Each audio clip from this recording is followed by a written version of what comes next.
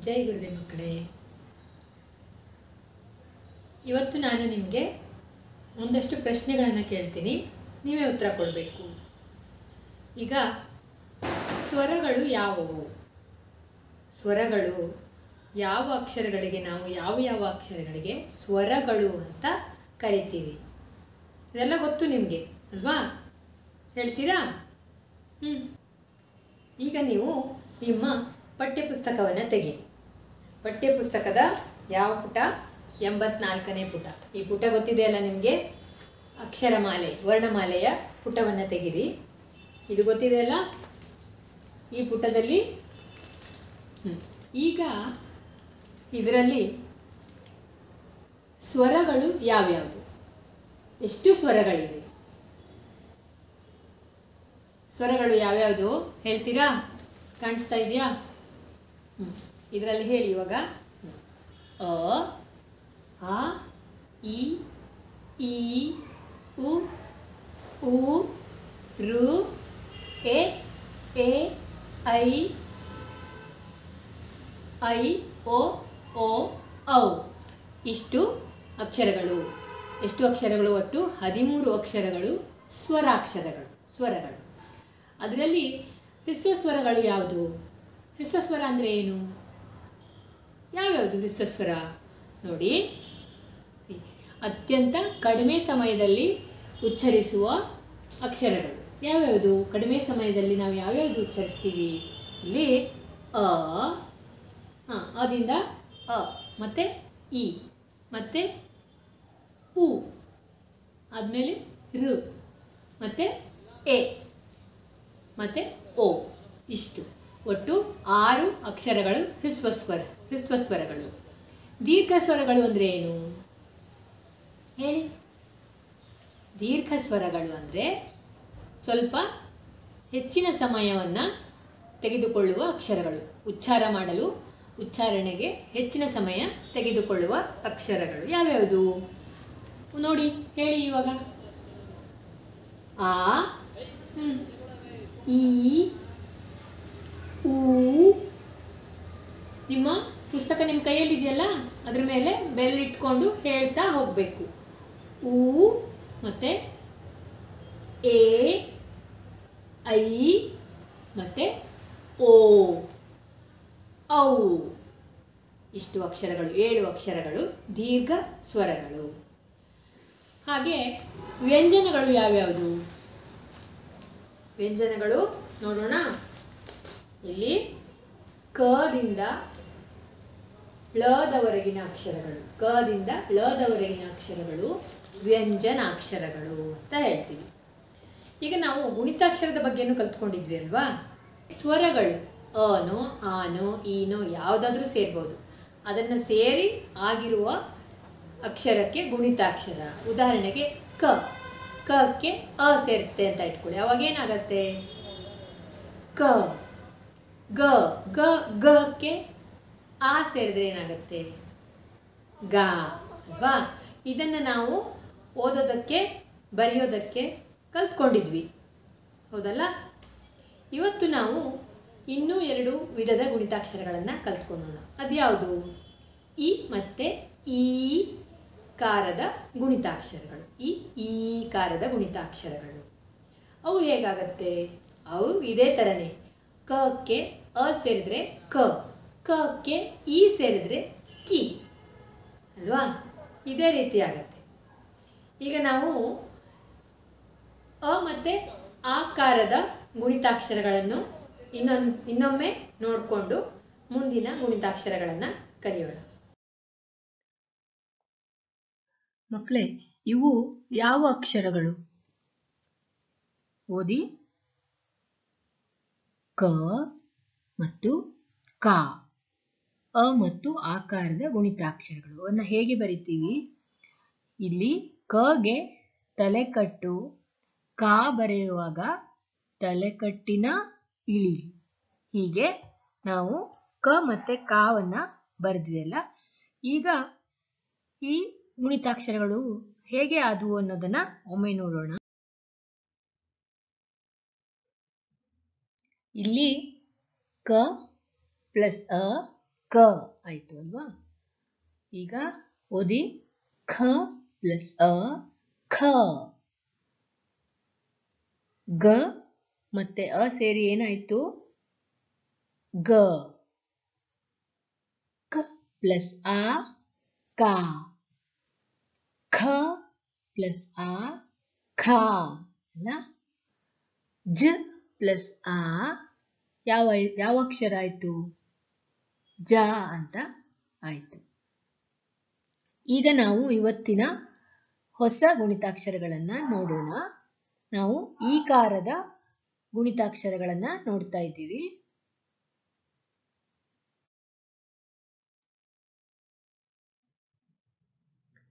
ಇಲ್ಲಿ ಕ ಮತ್ತೆ ಇ ಸೇರಿ ಏನಾಯ್ತು?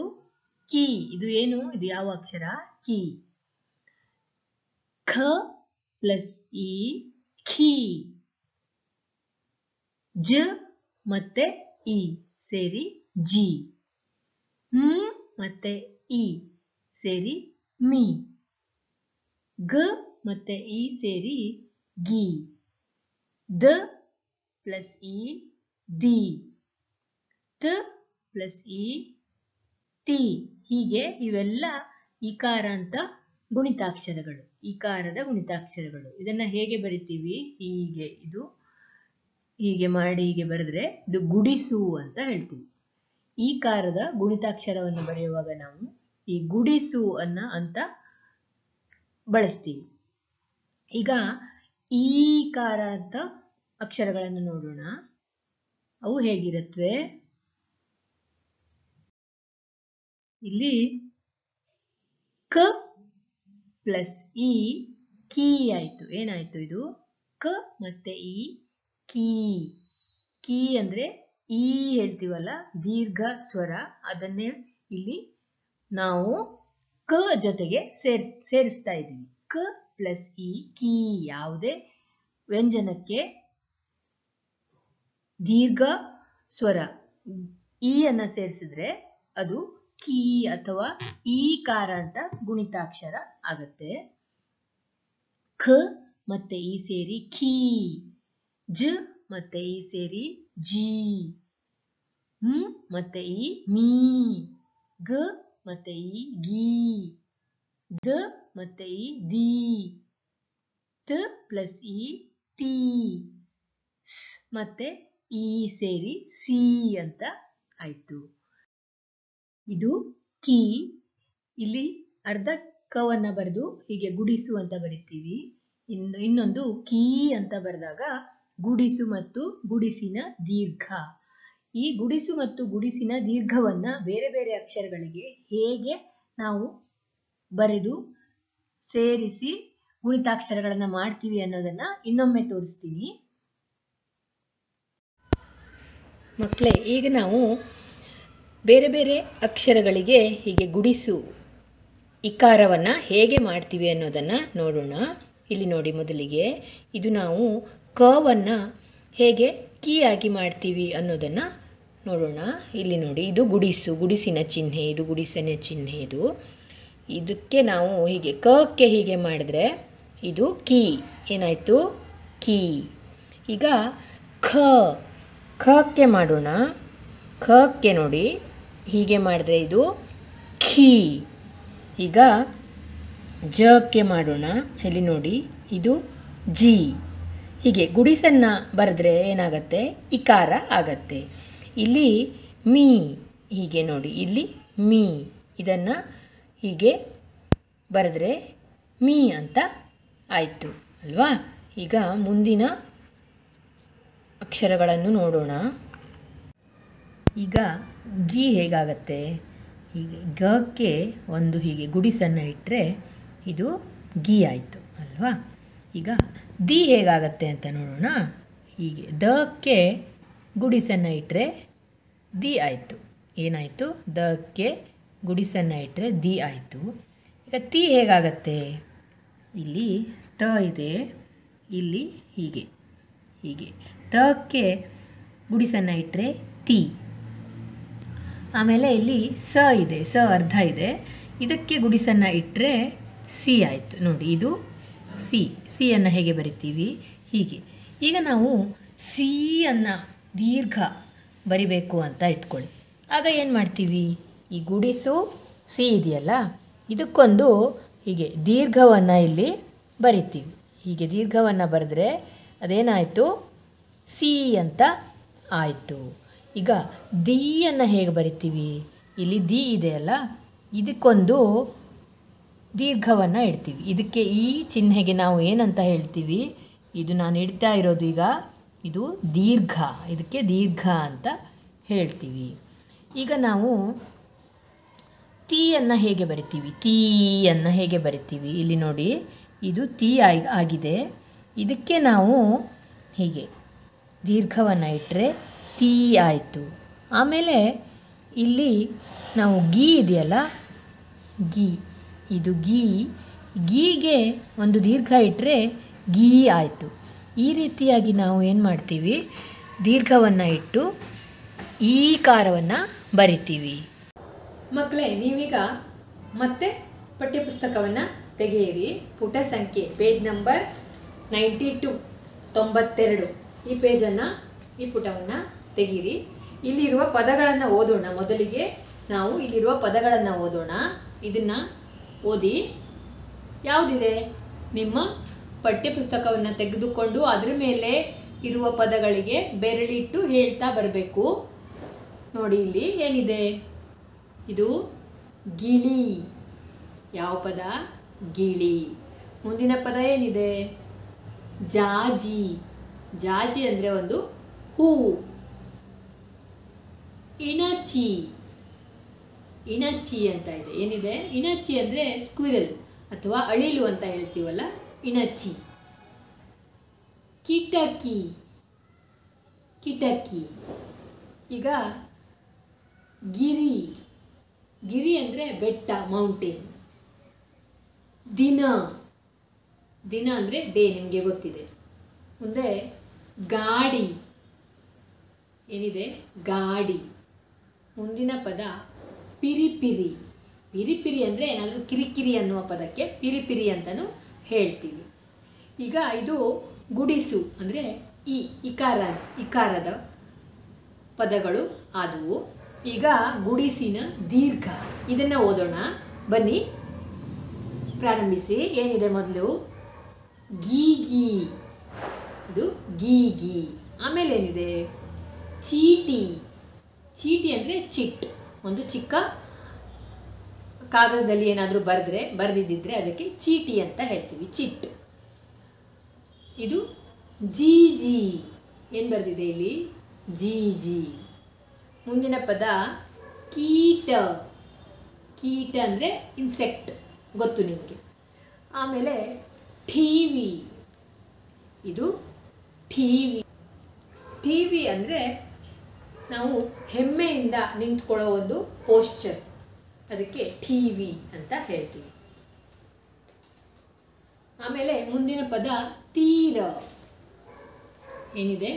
ತೀರ. ತೀರ ಅಂದರೆ ದಡ, ದಂಡೆ. ದೀಪ. ಏನಿದು? ದೀಪ.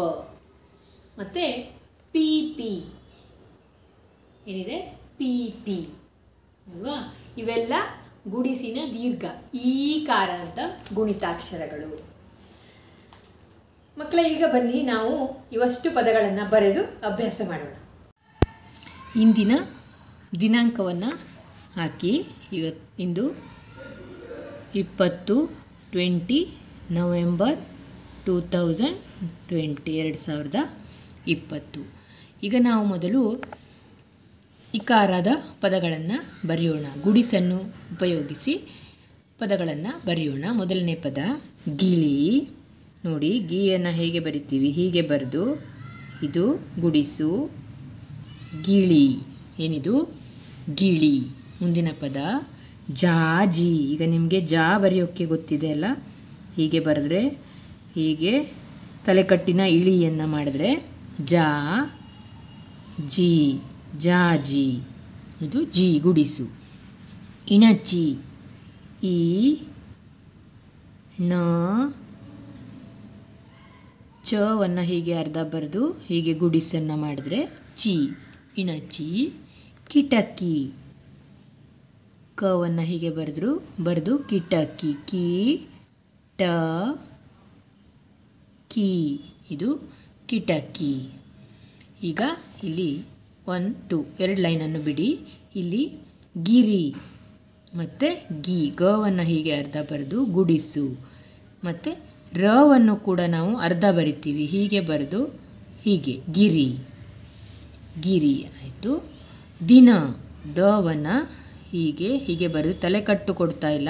ಹೀಗೆ, ಗುಡಿಸು. ದಿನ ದಿನ. ಮುಂದೆ ಗಾಡಿ. ಈಗ ಗಾ. ಗಾವನ್ನು ಬರೆಯೋಕ್ಕೆ ಗೊತ್ತು. ಹೀಗೆ ತಲೆ ಕಟ್ಟು, ತಲೆ ಕಟ್ಟಿನ ಇಳಿ. ಗಾ ಮತ್ತು ಡವನ್ನು ಬರೆದು ಹೀಗೆ ಡಿ. ಇದು ಗಾಡಿ. ಪಿರಿ ಪಿರಿ. ಈಗ ಪವನ್ನು ಹೀಗೆ ಬರೆದು ಇಲ್ಲಿ ಹೀಗೆ ಮಾಡ್ತೀವಲ್ಲ, ಇಲ್ಲೊಂದು ಗುಡಿಸು. ಪಿ ಹೀಗೆ ಇಲ್ಲಿ ಹೀಗೆ ಬರೆದು ರೀ ಮತ್ತು ಪಿ ರೀ. ಹೀಗೆ ಗುಡಿಸು. ಹೀಗೆ ಗುಡಿಸನ್ನು ಕೊಟ್ಟರೆ ಇಕಾರ ಬರ್ತದೆ. ಪಿರಿ ಪಿರಿ. ಈಗ ಇಲ್ಲಿ ಎರಡು ಗೆರೆಗಳನ್ನು ಬಿಡಿ. ಮುಂದಿನ ಪದವನ್ನು ಬರೆಯೋಣ. ಗೀ ಗೀ. ಈಗ ಈಕಾರದ ಪದಗಳು. ಗೀ, ಗುಡಿಸು, ಗುಡಿಸಿನ ದೀರ್ಘ. ಗೀ ಗೀ. ಈ ದೀರ್ಘವನ್ನು ಕೊಟ್ಟರೆ ಗೀ ಅಂತ ಆಗತ್ತೆ. ಈಗ ಚೀಟಿ. ಹೀಗೆ ಚೀಯನ್ನು ಬರೆದು ಮತ್ತು ದೀರ್ಘವನ್ನು ಕೊಟ್ಟರೆ ಚೀ. ಟ ಬರೆದು ಹೀಗೆ ಇಲ್ಲೊಂದು ಗುಡಿಸು. ಇಷ್ಟು ಕೊಟ್ಟರೆ ಟಿ ಆಯಿತು. ಟಿ. ಟೀ. ಈಗ ಜಿ ಜಿ. ಇದು ಜಿ. ಗುಡಿಸಿಗೆ ದೀರ್ಘವನ್ನು ಕೊಟ್ಟರೆ ಜಿ. ಇನ್ನೊಮ್ಮೆ ಜಿ ಬರೀರಿ. ಜಿ ಜಿ. ಈಗ ಕೀಟ. ಕೀಯನ್ನು ಬರೆದು ಗುಡಿಸನ್ನು ಕೊಟ್ಟರೆ ಕೀ. ಟ ಕೀಟ. ಇನ್ನು ಮತ್ತೆ ಈಗ ಠೀವಿ, ಠ. ಹೀಗೆ ಠವನ್ನು ಗುಡಿಸುವಾಗಿ ಬರೆದು